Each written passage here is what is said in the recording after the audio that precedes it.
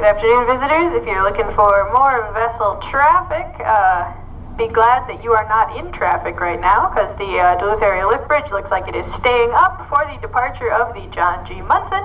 Uh, we should see the Munson through here in the next 10 to 15 minutes, but uh, for now, it looks like we have a twofer on our hands.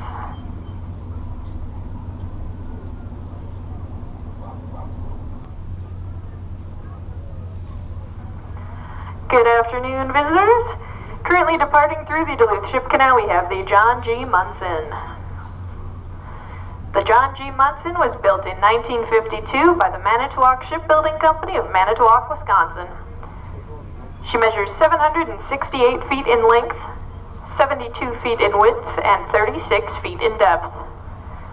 She is powered by a single 8,000 horsepower, six-cylinder, 6M43 MaK diesel engine, which gives her a top speed of 14 knots or about 16 miles per hour.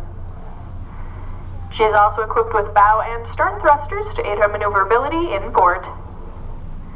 The Munson has 22 hatches on her deck, which open into seven cargo holds located below deck. Each hatch covering measures 48 by 17 feet. She has a maximum carrying capacity of 25,600 tons. Above her deck is a 250-foot self-unloading boom, which allows her to unload her own cargo at a rate of 5,600 tons per hour without the aid of shoreside equipment.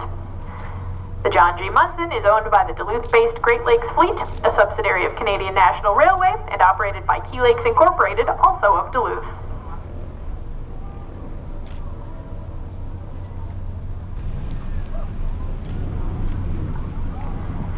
You see any crew members on deck, make sure to give them a big old wave and wish them a, a happy 4th of July.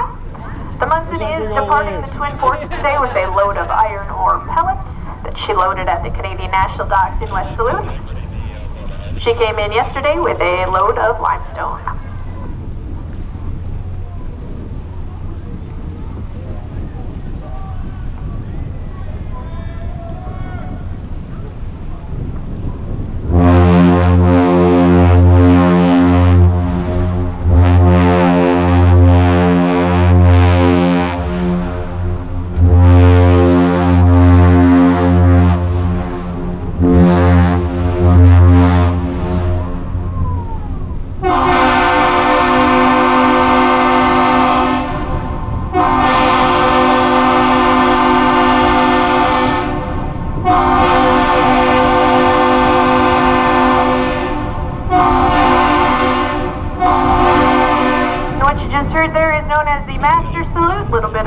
Special treat for you.